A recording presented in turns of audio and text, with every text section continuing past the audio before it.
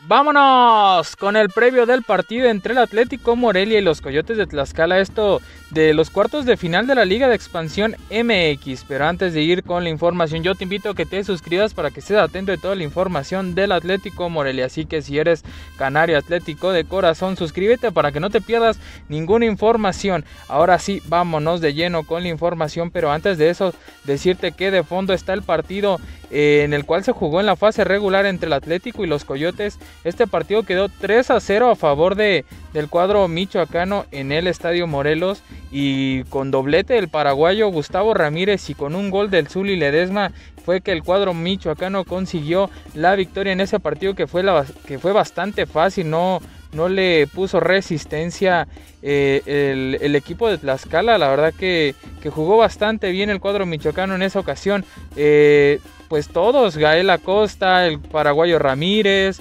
eh, Edu Pérez, qué decir de los centrales Víctor Milke y el Suri Ledesma. Ahí estamos viendo una recuperación tremenda de, Víctor Milke que, iba a terminar con un pelotazo y, y ahí el primer gol del cuadro michoacano, sí, con un error del arquero Octavio Paz, pero e, eso lo sabe hacer bien el cuadro michoacano, estar concentrado en el ataque, también que lo hizo ser muy explosivo en goles. Y ahora sí, pues vamos a, profundizar más sobre esta llave, ya que pues el primer partido se va a jugar allá en Tlaxcala y el cuadro michoacano tiene que llegar a la capital michoacana cuando menos con un marcador positivo. Eh, lo importante es marcar gol ya que como lo vimos en los partidos eh, de la liguilla de la primera división, eh, en el caso pues de Tigres le costó ya dar vuelta eh, de visitante o bien en el caso pues también del Club América que lo sorprendieron, así que el cuadro michoacano no debe de,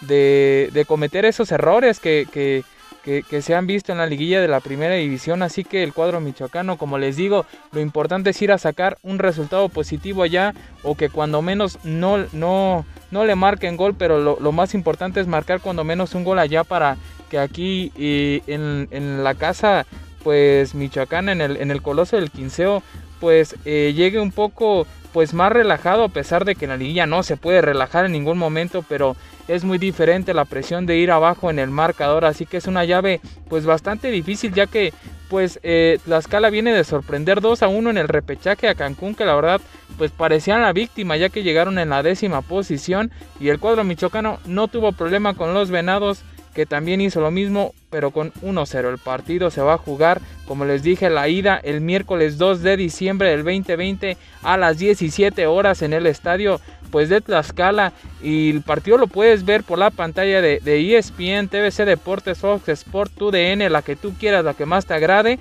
y la vuelta también va a ser eh, por las mismas pantallas, pero va a ser el sábado 5 de diciembre del 2020 a las 17 horas en el Estadio Morelos. Así que no te olvides en suscribirte, nos estamos escuchando. Chao, chao.